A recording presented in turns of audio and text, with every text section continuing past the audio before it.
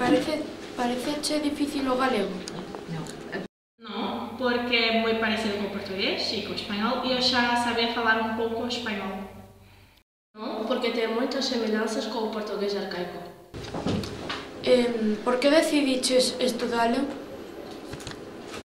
Porque quería aprender outra lingua, outros costumes e porque é interesante ver como hai tantas palabras e regras parecidas co portugués.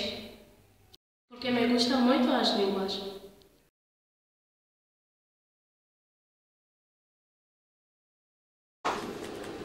Que che gusta de Galicia?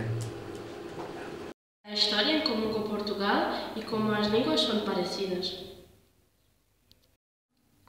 A gastronomía porque moi parecida coa nosa e porque é unha cousa moi importante para cando viaxamos.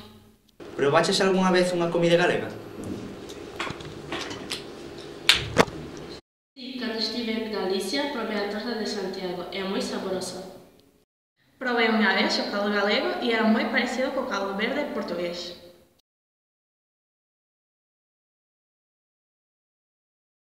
É bonita a vosa cidade? Sí, porque é unha cidade moi tranquila tanto de día como de noite. Como é o Algarve?